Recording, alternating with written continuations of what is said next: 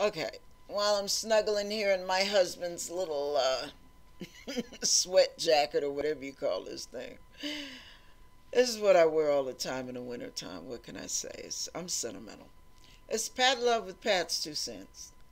And this is coming to my mind, and I just feel like somebody needs to hear it.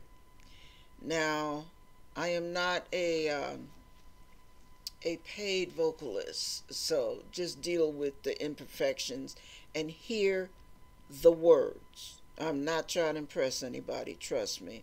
I don't have anything to impress with. So listen to these words.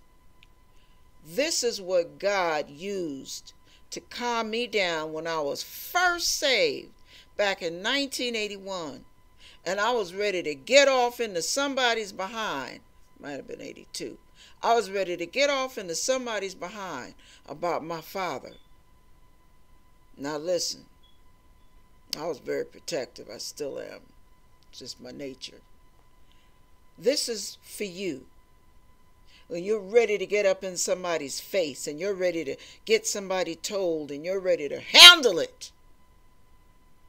This is what God said to me, and I say to you. We must wait wait. Wait on the Lord. We must wait. Wait. Wait on the Lord. We must learn our lessons well. In His timing, He will tell us what to do, where to go, what to say. Wait on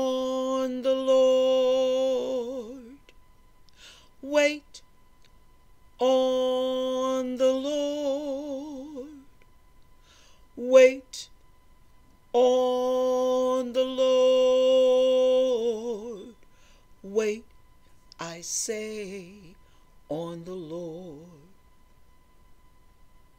You do not have to be in a hurry, baby. God was not in a hurry when they were waiting for him to come to Lazarus' side. And as God would have it, Jesus took his little sweet time and he moseyed over, and by the time he got there, the body had been in the grave four days and was rotting. It was stinking. Dead. Oh, dead, deader than dead, baby. Decomposing. Your situation is not decomposing, but this man's body was. And when, when it looked like all hope was lost and Jesus wasn't there for his friend and he was too late. Too late. Where the heck were you? We were waiting on you. You're his friend. If you had been here, he would be alive now. And what did Jesus say? I am the resurrection and the life.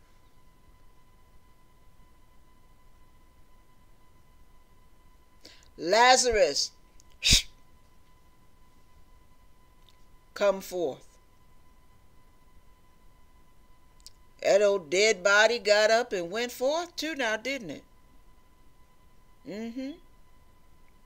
Jesus told those men, take his grave clothes off.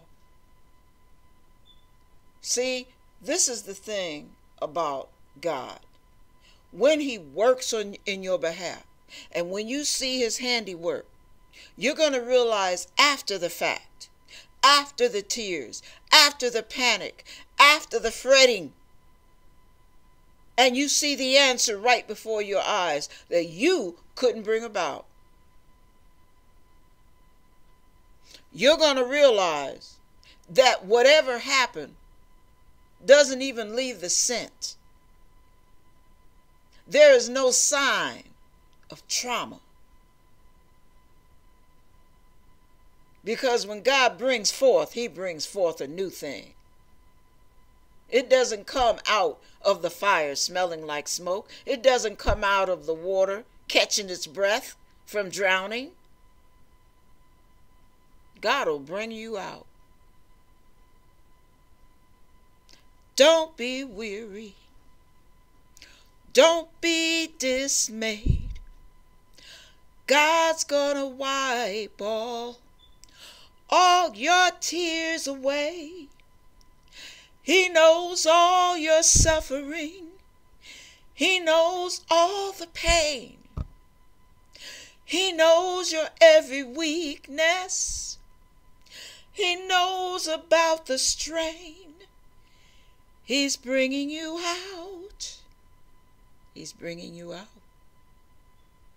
He's bringing you out. Now, I don't know what you've been going through. I don't know what it's all about. But He's bringing you out. I don't have a doubt.